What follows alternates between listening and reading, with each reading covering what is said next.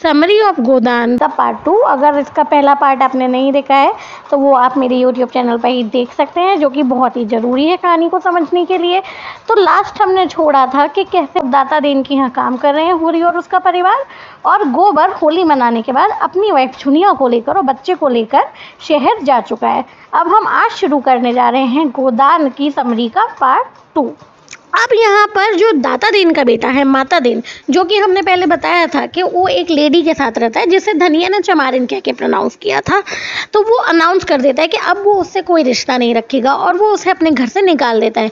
बेचारी बहुत ज़्यादा परेशान होती है और वो बहुत रिक्वेस्ट करती है तो धनिया उसे अपने घर पर ले आती है। अब उनकी होरी और धनिया की बेटी, सोना भी बड़ी हो चुकी है, सत्रह साल की हो चुकी है। अब वो जब भी बाहर रहती है, गाँव के लोग कुछ ज़्यादा ही उसके आसपास घूमते हैं, उसे घूरते हैं वो भी जिनकी शादी भी हो चुकी है। इस बात को लेकर होरी परेशान है। होरी सोचता है कि अब सही समय आ गया है कि वो सोना की शादी कर दे। वो सोना की शादी करने के बारे में सोचता है और इसके लिए वो एक दुलारी नाम की शॉपकीपर से सौ रुपये उधार भी लेता है। वो सौ रुपये का लोन ले लेता है। हालाँकि सोना को ये बात अच्छी नहीं लगती कि वो कैसे लोन पे लोन लिए जा रहा है उसकी शादी के लिए। तो वो अपने होने वाले हस्बैंड को स्पाउस को एक लेटर लिखती है, मथुरा को, जिसका नाम मथुरा होता है। वो उससे कहती है कि उसे ऐसे दहेज लेके शादी ना करे तो इवेंचुअली वो मान भी जाते हैं बिना दहेज लेकर शादी करने के लिए। पर धनिया और होनी मना कर देते हैं। वो कहते हैं कि उनकी रिस्पेक्ट इसी में है कि वो दहेज के साथ शादी करे और बिना दहेज के नहीं, तभी उनकी रिस्पेक्ट बनी रहेगी। अब जो कहानी में भोला होता है, जो शादी करना चाहता था, शुरुआत में कहानी के तो अब वो भोला की शादी हो जाती है नहोरी नाम की औरत से।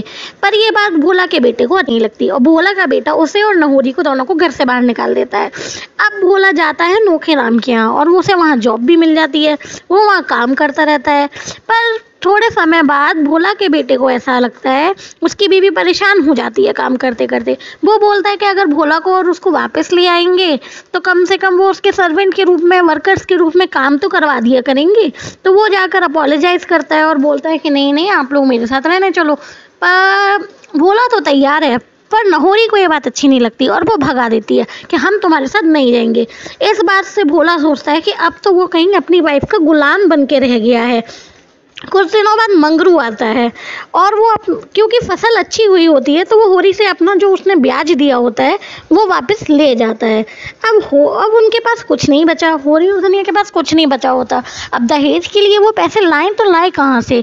तो एक दिन नहोरी आती है और धनिया से बोलती है बताओ दहेज क्या लिया है? तुमने सोना की शादी के लिए हमको दिखाओ। तो बोलती है कुछ भी व्यवस्था नहीं है।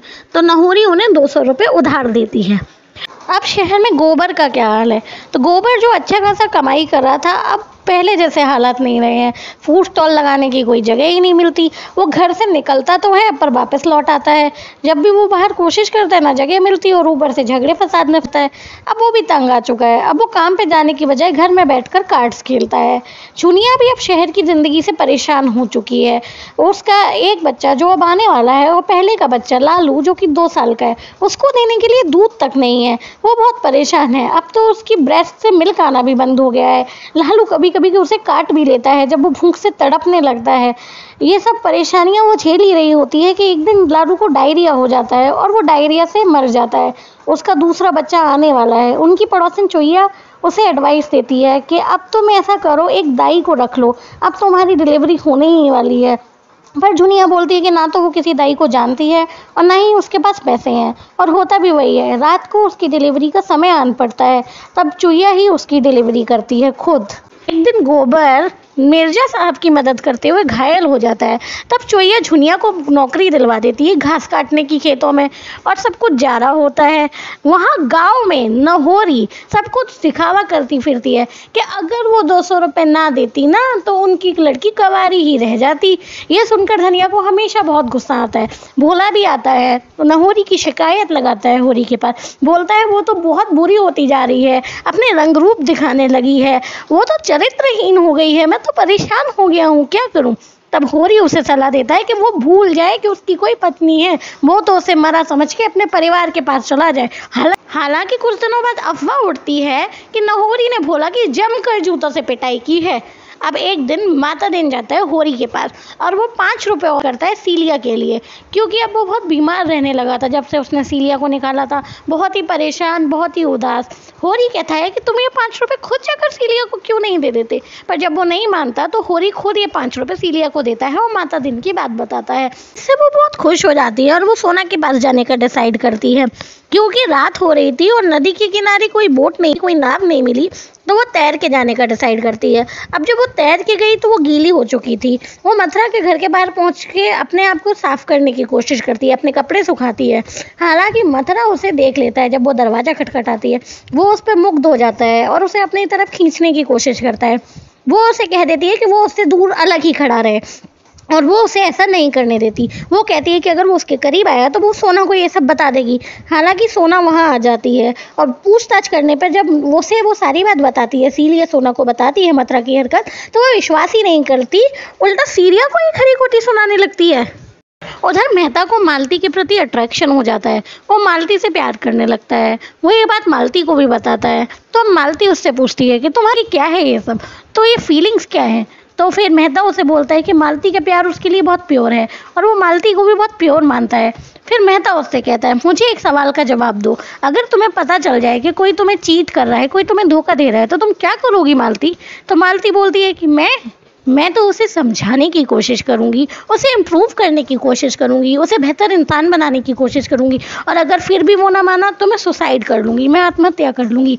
ये सुनकर मेहता कहता है कि अगर विपरीत होता और तुम धोखा दे रही होती तो मैं पहले तुम्हें मारता और उसके बाद खुद मर जाता।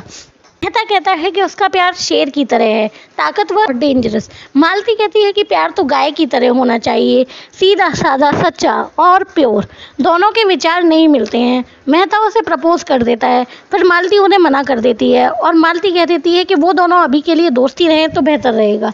और मालती वहाँ से चली जाती है। मेहता का दिल टूट जाता है। वहीं पर राय साहब अपने बेटे की शादी एक राजकुमारी से कराना चाहते थे, पर राय साहब के बेटे को प्यार हो जाता है, मालती की बहन सरोज से, और दोनों के दोनों भाग जाते हैं, दोनों विदेश भाग जाते हैं, और राय साहब का बेटा उन पे केस कर देता है, और वो जीत भी जाता है, वो उन पे मानहानि का केस करता है, और दस लाख रुपए वसूल भी कर लेता है। मालती और मेहता कई दिनों से मिले नहीं होते हैं और उनकी मुलाकात नहीं होती है। एक दिन मेहता मालती को मिलते हैं और वो बताता है कि अब उसके पास पैसे भी नहीं हैं, उनके पास रहने के लिए घर भी नहीं है। वो कमाता तो बहुत ज़्यादा है, हज़ार रुपये महीना, पर बचत कुछ भी नहीं कर पाता। उसके पास तो डेप्ट भी हो गया था, वो रेंट भी नहीं दे पा रहा है।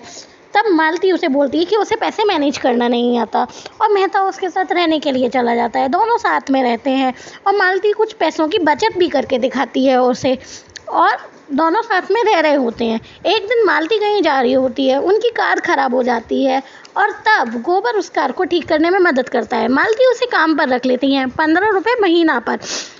और डॉक्टर मालती जुनिया का बेटा बीमार था उसे ठीक भी कर देती हैं। अब वो और मेहता साहब दोनों के दोनों साथ में बच्चे के साथ खेला करते अफेक्शन शो किया करते। एक दिन मेहता साहब ने मालती को प्रस्ताव दिया कि क्यों ना हम भी ऐसे ही शादी कर लें। तो मालती कहती है, नहीं, कभी नहीं, हम लोग दोस्त के रूप में ही बेहतर हैं और वही ठीक रहेगा। उधर सीलिया सीलिया का दो साल का बच्चा निमोनिया ग्रस्त हो जाता है और मर जाता है। वो बहुत दुखी हो जाती है। एक शाम को वो उसकी याद में बैठी होती है और तभी माता देन आता है और उसका साथ देता है और उसे वादा करता है कि अब वो उसे छोड़ के कहीं नहीं जाएगा। वो हमेशा उसके साथ रहेगा, उसका डिवोटी बनकर रहेगा। उधर हौरी की हालत दिन ब दिन ख़राब होती जा रही थी। अब तो उसे कोई लोन लेने को भी राज़ी नहीं था। उसने दो सौ रुपये के लिए अपनी बेटी रूपा की शादी कर दी, एक अधेड़ उम्र के आदमी से। गोबर होरी की मदद करना चाहता है। वो चाहता है कि वो उसके लोन और उसके डेप्ट उधार चुकाने में मदद करें, पर होरी ऐसा नहीं चाहता। वो सब कुछ खुद ही कर लेना चाहता है। वो गोबर को मना कर देता है। अब वो एक सड़क निर्माण के कंपनी में मजदूरी का काम करने लगता है। वो दिन रात मेहनत करता है। अब धनिया भी सूत काट कर घर का गुजारा किया करती है। एक दिन हीरा वापस आ जाता है और वो माफ़ी मांग लेता है। वो एडमिट करता है कि हाँ गाय को उसी ने मारा था। पर होरी खुश है, होरी उसे माफ़ कर देता है, होरी काफ़ी खुश हो जाता है। पर अब वो अपना कर्जा चुकाने के लिए दिन रात मेहनत करता है। वो रात को देर से आता, पूरे दिन काम में लगा रहता, अपना बिल्कुल ध्यान ना रखता। ऐसे ही एक दिन वो बीमार होता गया, वो कमज़ोर होता गया और एक दिन काम करते करते वो चकरा कर गिर गया। उसकी पत्नी धनिया को बुलाया गया। धनिया को वो पहचानने से मना कर देता है। उसको लकवा मार जाता है। वो बीमार होकर गिर जाता है। वो लकवा ग्रस्त है। हीरा कहता है कि अब समय आ गया है कि हम गोदान कर देना चाहिए। धनिया बिना देरी किए बीस आने निकालती है। जो उसने सूत काट कर बचाए होते हैं। वो होरी के हाथों से उन्हें दाता दीन को दिलवा देती है, गौदान के नाम पर। हालाँकि उसके पास गाय देने के पैसे नहीं होते हैं, उसके पास बचे हुए बीस आने वो यही गौदान के रूप में दाता दीन को दिलवा देती है और उसके बाद सिर पर हाथ रखकर ज़मीन पर गिर जाती है। अगर आपको ये समरी पसंद आई हो तो प्लीज़ इसे लाइक करें, ज़्यादा से ज़्यादा शेयर करें और चैनल को प्लीज़ सब्सक्राइब करें फॉलो करें। और ऐसी ही समरीज़ आप मुझे कमेंट सेक्शन में आस्क कर सकते हैं कि आपको अगर चाहिए हो कि इस चीज़ की समरी बना दीजिए तो मैं ज़रूर बना दूँगी। ये करने में बहुत मेहनत लगती है तो प्लीज़ प्लीज़ प्लीज़ एक लाइक ज़रूर कीजिए and follow for more thank you so much